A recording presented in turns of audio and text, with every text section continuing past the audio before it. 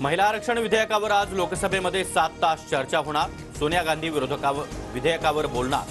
काँग्रेस विधेयकाला पाठिंबा देणार का सर्वांचंच लक्ष? शिवसेना पक्षचिन्हाबाबत दहा ऑक्टोबरला तर आमदार अपात्रतेबाबत तीन ऑक्टोबरला सुनावणी. ऐनवेळी तारखांमध्ये बदल होण्याची ही शक्यता कृषीमंत्री धनंजय मुंडेंचा लातूरकरांना धक्का. लाल कंधारी गोवंश आणि सोयाबीन संशोधन केंद्र परळीत होणार. भुसे आणि सत्तार यांचा निर्णय मुंडेंनी बदलला. सत्तेत गेलेल्या पक्षातील एकाकडून अजित पवारांचा लांडगा असा उल्लेख. अजितदादा वाघ आहात एकदा दाखवाच. अजितदादा सत्तेसाठी लाचार नाहीत हे जनतेलाही कळू द्या. विजय वडेट्टीवार यांची प्रतिक्रिया. अकराव्या दिवशीही नागपुरात ओबीसी आंदोलन सुरूच. ओबीसी आंदोलनामध्ये आता बीआरएस पक्षाचीही उडी. पंचवीस सप्टेंबरला वर्ध्यामध्ये बीआरएसचं आंदोलन. धनगर समाजाच्या आरक्षणाच्या मुद्द्यावर नगरच्या चौंडीमध्ये पंधरा दिवसांपासून उपोषण. तब्येत बिघडल्यानं उपोषणकर्ते अण्णासाहेब रुपनवर यांच्यावर पुण्यात उपचार सुरू. मुंबईत भाजप युवा मोर्चाचा खलिस्तानी गायक शुभच्या मुंबईतील कार्यक्रमाला विरोध. विलेपार्लेतील खलिस्तानी गायकाच्या पोस्टरला काळं फासलं. नाशिकमधील सतरा बाजार समित्यांमध्ये कांदा लिलाव आजपासून बंद. विविध मागण्यांसाठी कांदा व्यापाऱ्यांकडून लिलाव बंद.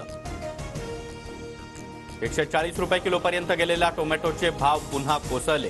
किरकोळ बाजारामध्ये टोमॅटो पुन्हा एकदा वीस रुपये प्रति किलोवर. श्रीमंत दगडूशेठ हलवाई गणपती मंडळातर्फे सामूहिक अथर्वशीर्ष पठण एकतीस हजार महिलांचा सहभाग कार्यक्रमाला परदेशी पाहुण्यांचीही हजेरी. दीड दिवसाच्या बाप्पाचं आज विसर्जन मुंबई पुण्यासह सर्वच ठिकाणी विसर्जनासाठी तयारी पूर्ण मुंबईत विसर्जनासाठी कृत्रिम तलावांची व्यवस्था.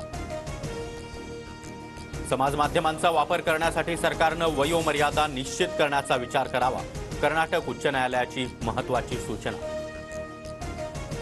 जेईई नीट परीक्षांच्या तारखा जाहीर नीटची परीक्षा पाच मे दोन हजार चोवीसला तर जेईई मेन परीक्षेचे पहिले सत्र चोवीस जानेवारी ते एक फेब्रुवारी तर दुसरं सत्र एक एप्रिल ते पंधरा एप्रिल दरम्यान.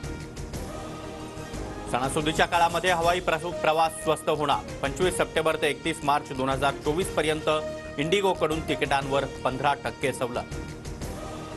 राज्यातील छत्तीस पैकी तेरा जिल्ह्यामध्ये दुष्काळ सदृश्य स्थिती. नगर सांगली सातारा जालना आणि बीडमध्ये पडणाऱ्या पावसात चाळीस टक्क्यांहून जास्तीची तूट उद्यापासून पुण्यासह राज्यात जोरदार पावसाची शक्यता. बंगालच्या उपसागरामध्ये कमी दाबाचं क्षेत्र निर्माण झाल्यानं मान्सून सक्रिय. कॅनडाकडून नागरिकांना भारतातील जम्मू काश्मीरमध्ये न जाण्याचं आवाहन. हरदीप सिंग निज्जरच्या हत्येच्या वादाच्या पार्श्वभूमीवर ॲडवायझरी जारी.